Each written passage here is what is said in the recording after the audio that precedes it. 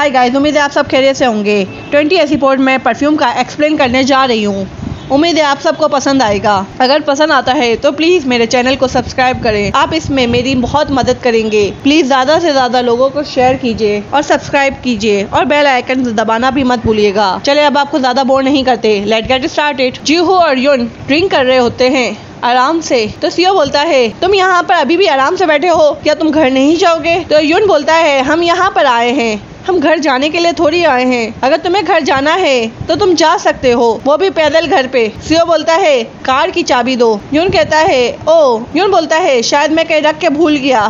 CO कहता है, अगर तुमने मुझे नहीं दी तो मैं तुम्हें पनिश करूँगा। तो वो बोलता है, हम लाइव डिटेक्टिव गेम खेलते हैं। ट्रू एंड डेयर वो कहता है, सबसे पहले मैं ही शुरू करता हूँ। चीहू कहती है लगता है ये बहुत मज़ा आएगा। और युन उसे इस्तेमाल करते ही पहले बोलता है कि मैं युन हूँ और मैं जीहू से बहुत प्यार करता हूँ। जीहू बोलती है, मैं भी तुम्हें बहुत पसंद करती हूँ। सीओ कहता है, मैं युन हूँ। मैं अपनी नाक में उंगली डालता हूँ और उसे खा जाता हूँ। तो युन कहता है, मैं ऐसा बिल्कुल नहीं करता।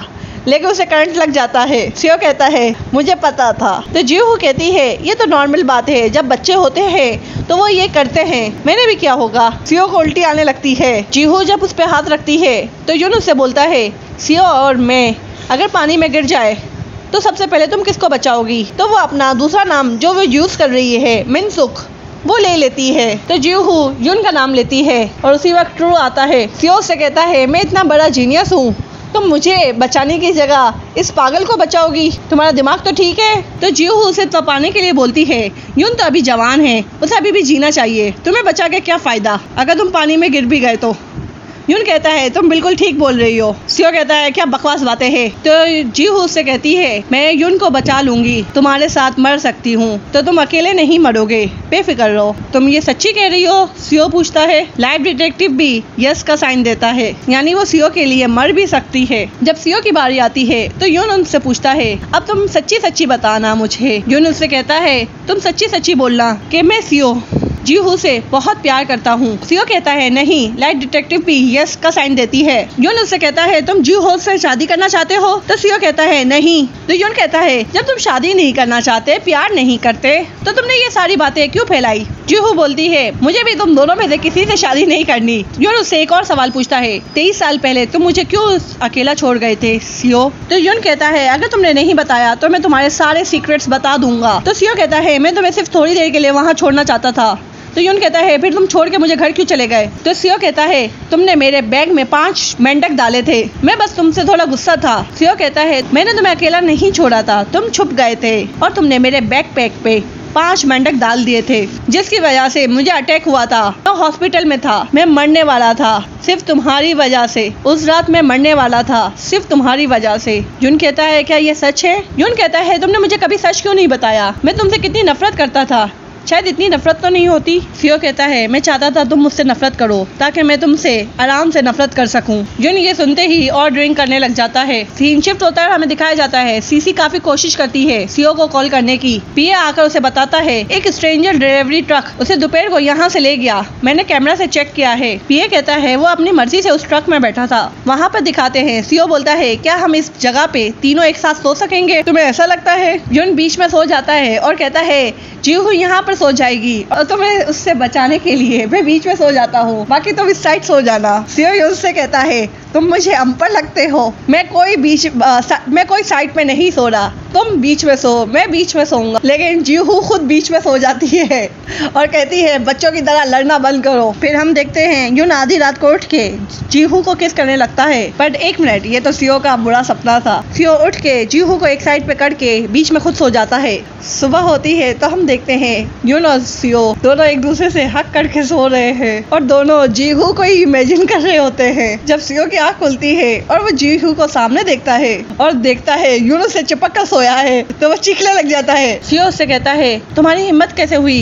अपने गंदे हाथों से मुझे छूने की। और ये कहते ही वो बेहोश हो जाता है। तो जीहू से पूछती है, क्या हुआ? तुम बीमार क्यों हो गए? यून कहता है, इसे एलर्जी है बग बाइट से। इसके बैग में देखो। और वो जल्दी से उसे इंजेक्शन लगा देता है। सीओ और जीहू घर आ जाते हैं। पीए उसे मिलकर बहुत खुश होता है। बोलता है, मैं बहुत परेशान था सीओ तुम्हारे लिए। सीओ से हटा के बोलता है, मुझे हाथ मत लगाओ। पीए उसे कहता है, मुझे बहुत खुशी हुई। तुम भी आम लोगों की तरह ज़िंदगी गुजार रहे हो। तुम इतनी देर भी गए। वो भी बहुत अच्छी बात है। जीहू उसे कहती है, सुबह को ये मरने वाला था। ये आम लोगों की तरह कैसे जी सकता है। को आदत पड़ गई है इन सब चीज़ों की। वो तो शुक्र है जुन वहाँ पर था। उसने जल्दी से इसे इंजेक्शन लगा दिया। वो इसका भाई है, उसे पता था कि कैसे इसे इंजेक्शन लगाना है, कैसे इसे ट्रीट करना है। तो सीओ कहता है, तुम उसकी इतनी साइड क्यों ले रही हो? वो भी मेरे सामने। तुम जब भी उसकी साइड लेती हो, मैं अपसेट हो जाता हूँ।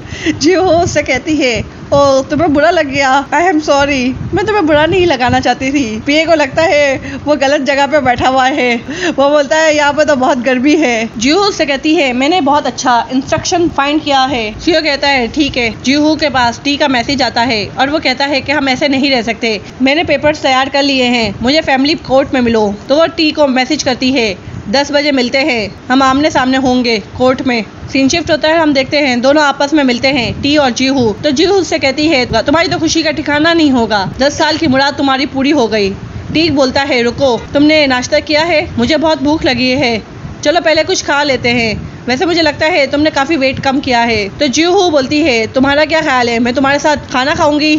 चलो पेपर साइन करते हैं और सबको ख़त्म करते हैं। टी कहता है प्लीज़ घर पे वापस आ जाओ। मैं सच कह रहा हूँ, मैं अब ऐसा कुछ नहीं करूँगा। तुम मुझे अच्छे से जानती हो, तुम ही थी मेरी ज़िंदगी में। तो जीहू कहती है, दस साल से तुम मुझे ऐसे ही घुमा रहे हो, ती जी जिन का वास्ता देता है। तो जीहू बोलती है कि उसके सामने उसकी मामा इस हालत में रहेगी तो वो कभी भी कुछ नहीं कर पाएगी।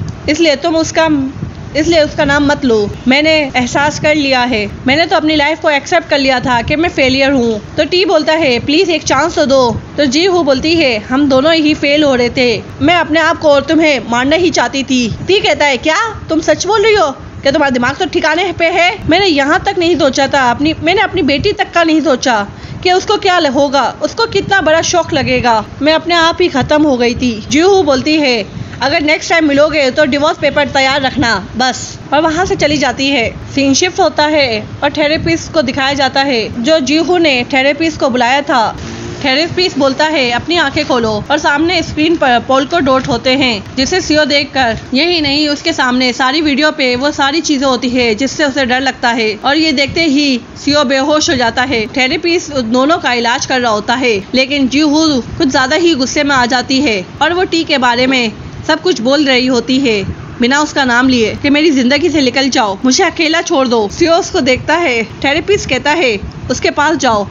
और उसे कंफर्टेबल फील कराओ। सीओस के पास जाता है और कहता है, मैं तुम्हारे साथ हूँ। जीहू थेरेपिस्ट से कहती है, आप अगले हफ़्ते भी आइएगा। जब तक सीओ बिल्कुल ठीक नहीं हो जाता, मैं चाहती हूँ ये कंटिन्यू रहे। थेरेपिस्ट कहता है, ये बहुत मुश्किल काम है, लेकिन मुझे यकीन है तुम कर लोगी। सीओ उसके पास आता है और उससे पूछता है, तुम क्या कह रही थी? किसको अपनी ज़िंदगी से निकालना चाहती थी? तो जीव उससे कहती है, मैंने तुम्हें बताया था ना मेरे एक्स बॉयफ्रेंड का? तो सीओ बोलता है, क्या तुम्हारा वो मामला खत्म नहीं हुआ था? तो जीव उससे बोलती है, मैं उससे फिर से मिली थी। तो जीव उसे बता देती है कि मेरा एक्स बॉयफ्रेंड मेरी लाइफ में वापिस आना चाहता है। तो सीओ बोलता है, तुम क्या चाहती हो? जियो बोलती है, बिल्कुल नहीं, मैं उससे बहुत गुस्सा हूँ और वो बस मेरा करवा पास था। सीओ बोलता है, मुझे उस आदमी से मिलना है। उसका नंबर दो। जीहू उससे कहती है ये सारी चीज़ें मैं हैंडल कर लूँगी। टेंशन मत लो। और वहाँ से भाग जाती है। सीन शिफ्ट होता है हमें दिखाया जाता है सीसी और जीहू को। सीसी उसे कहती है, एक कंपनी कमर्शियल है जो तुम्हें मॉडल के लिए यूज़ करना चाहती है। तुम ये सारी चीज़ें पढ़ लो और फिर अपने हिसाब से कर लो। वो एक बुरा रोल होता है। तो जीहू बोलती है, मैं बुरी नहीं हूँ। तो सीसी कहती है, तुम्हारे पास ये आखिरी चांस है। सीन शिफ्ट होता है। जीहू और सीओ को काउच में दिखाते हैं। तो जीहू उससे पूछती है की, बुरे इंसान कैसे होते हैं? तो सीओ कहता है,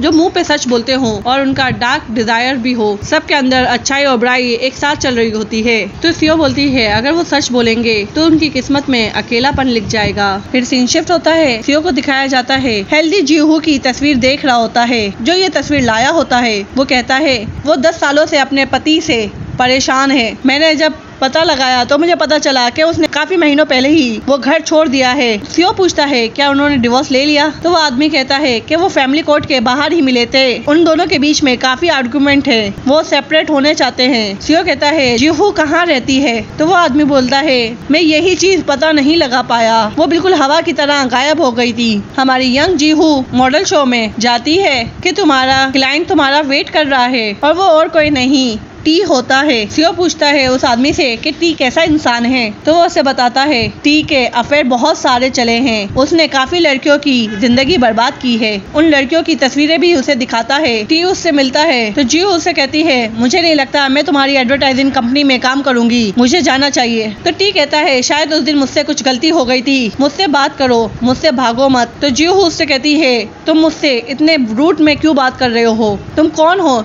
जो तुम मुझसे ऐसे बात कर सकते हो। टी उसके करीब आता है और उसका नाम लेता है। तुम दस सालों से मेरे साथ रह रही हो तो तुम्हें क्या लगता है, मैं तुम्हें पहचान नहीं पाऊँगा? यंग जीव उससे कहती है, टी उसे पकड़ता है और बोलता है, मैं तुम्हें बहुत अच्छे से जानता हूँ। और वो उसके साथ बदतमीजी करने लग जाता है। उसी वक्त सीओ आ जाता है और कहता है, तुम्हारी हिम्मत कैसे हुई? इसे टच करने की। सी और टी को बहुत ज़ोर से मुक्का मारता है। कहानी यही खत्म हो जाती है। मुझे यकीन है, आपको पसंद आई होगी। अगर आपको पसंद आई है तो प्लीज़ यस लिखेगा कमेंट में। Okay bye